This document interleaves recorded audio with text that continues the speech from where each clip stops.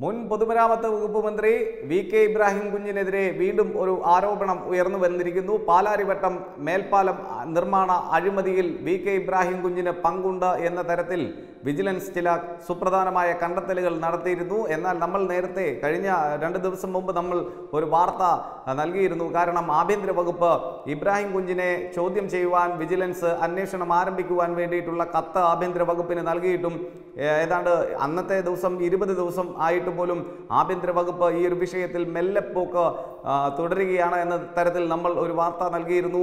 ഇപ്പോഴും ആഭ്യന്തര വകുപ്പ് ഈ- ഒരു സജീവമായ രീതിയിൽ വിജിലൻസിന് ഒരു അനുമതി നൽകിയിട്ടില്ല എന്നറിയാം. ആ ഒരു അവസരത്തിലാണ് ഇബ്രാഹിം കുഞ്ഞിന്റെ മറ്റൊരു അഴിമതി പുറത്തു വരുന്നത്.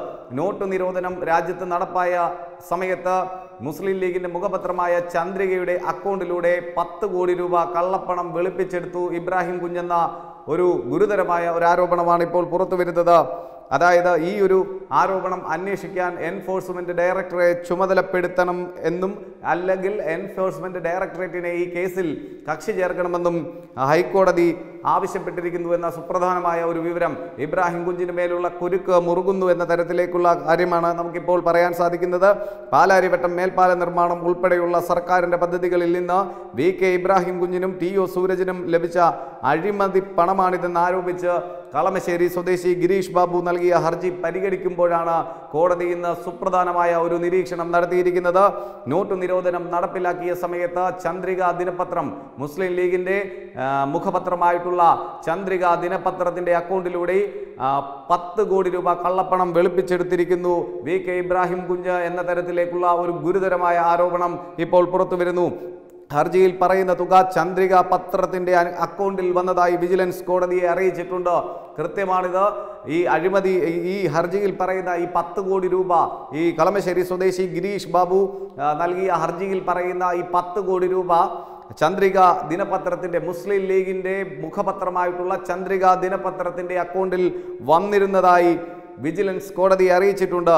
അഴിമതി കേസിൽ പ്രോസിക്യൂഷൻ അനുമതി ലഭിച്ചാലുടൻ മുൻ മന്ത്രി വി കെ ഇബ്രാഹിം കുഞ്ഞ് കൈക്കൂലി വാങ്ങിയോ എന്ന കേസ് അന്വേഷിച്ചു തുടങ്ങുമെന്ന് വിജിലൻസ് കോടതിയെ അറിയിച്ചിട്ടുണ്ട് എന്ന സുപ്രധാനമായ ഒരു വിവരം കൂടി ഇതിനോടൊപ്പം ചേർത്ത് വെക്കേണ്ടതുണ്ട്. കേസ് ബുധനാഴ്ച വീണ്ടും ഹൈക്കോടതി പരിഗണിക്കും.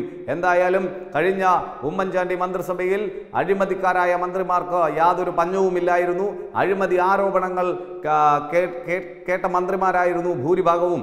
ആ ഒരു അവസരത്തിലാണ് അതിൽ പ്രഥമ ഗണനീയൻ എന്ന തരത്തിലേക്ക് തന്നെ നടന്നു കയറുന്ന വി കെ ഇബ്രാഹിം കുഞ്ഞ് പാലാരിവട്ടം മേൽപ്പാലം നിർമ്മാണ അഴിമതിയിൽ കൃത്യമായ പങ്ക് അദ്ദേഹത്തിനുണ്ട് എന്ന തരത്തിലേക്കുള്ള കാര്യം വിജിലൻസ് ഏതാണ്ട് കണ്ടെത്തിയിരുന്നു. വിജിലൻസിന്റെ കൃത്യമായ അന്വേഷണത്തിൽ അദ്ദേഹത്തിനുണ്ടായിരുന്ന പങ്ക് ചില ഉദ്യോഗസ്ഥർ മാത്രമല്ല ടി ഒ സൂരജ് ഉൾപ്പെടെയുള്ള ഉദ്യോഗസ്ഥർക്ക് മാത്രമല്ല ആ വകുപ്പ് കൈകാര്യം ചെയ്തുകൊണ്ടിരുന്ന വി കെ ഇബ്രാഹിം കുഞ്ഞ് എന്ന മുസ്ലിം ലീഗിന്റെ മന്ത്രിയായിരുന്ന വി കെ ഇബ്രാഹിം കുഞ്ഞ് കളമശ്ശേരി എം എൽ എ നിലവിൽ കളമശ്ശേരി എം എൽ എ ആണ്.